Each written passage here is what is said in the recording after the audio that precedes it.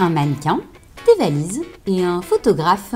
Vous l'avez deviné, cette semaine, la Shooting Box pose ses valises sur un shooting mode. On est en shooting photo avec Yannick Verdier-Montségur, en shooting photo mode du coup, donc on se fait un petit truc en extérieur sympathique, euh, voilà. Bon, et quand on veut démarcher les agences de mannequins, qu'est-ce qui fonctionne vraiment Les plans américains, sachant que les agences ont besoin surtout de montrer le, le visage et des expressions différentes, puis quelques en pied euh, avec des bonnes marques pour voir euh, la taille du, du modèle, sa gestuelle aussi.